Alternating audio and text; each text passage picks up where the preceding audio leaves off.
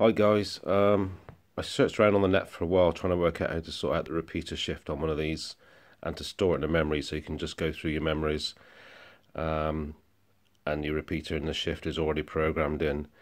Um, the first confusing thing was is the memories on this, they call it channel mode, not memory recall or anything like that, and that threw me a little bit. Um, but there you go. Right, let's see how we can get this done. First of all, I recommend you do this. Uh, you write down your repeater, the repeater frequency that you listen to on, the receive, what you receive with the radio, which is what the repeater is obviously transmitting on, and the TX frequency that you talk to the repeater at. Um, by the TX frequency, I've put the letter R. We'll come to that in a minute. Most repeaters have a 600 kilohertz shift, uh, so that's why we've got on this one 145-600RX and 145-000TX. Okay, so we'll switch on the radio. Channel mode. First of all, you hear it says channel mode uh, in a rather boring voice. Uh, first thing we need to do is change that to frequency mode by pressing the orange button. Frequency mode. So there we have frequency mode. Okay. So first of all, we what we want to do is we want to program in our RX frequency. So you just type that in um, in in the six figure number. So we have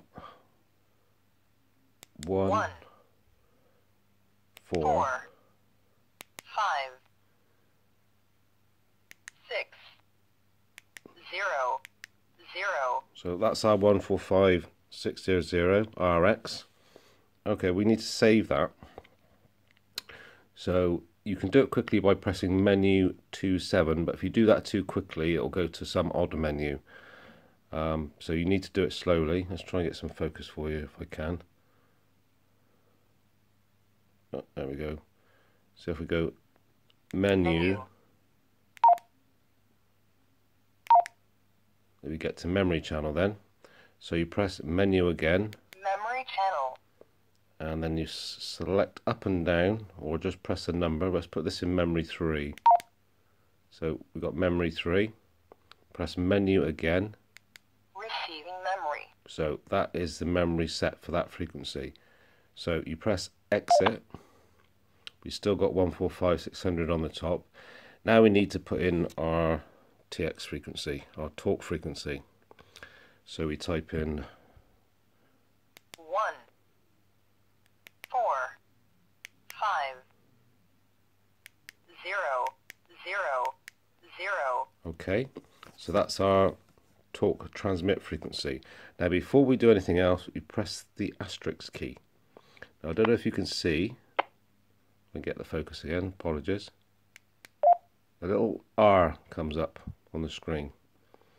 Don't ask me why, but it does. So then we press menu again, Menu. And you should still be in the memory channel mode, or you, you're going to have to toggle up to find that.